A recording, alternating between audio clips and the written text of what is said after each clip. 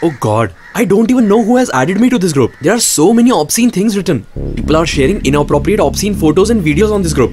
Above all, they share offensive pictures and videos of children. I have no clue who all are spreading this obscenity. Viewing and broadcasting of any type of child pornography is a criminal offense. If found guilty, one can be jailed and fined. You can register your complaint against child pornography or other obscene content like rape or gang rape videos on www.cybercrime.gov.in. Your alertness and cautiousness can help you being saved from cybercrimes. Report all your complaints related to such cybercrimes on www.cybercrime.gov.in. Issued in public interest by Ministry of Home Affairs, Government of India.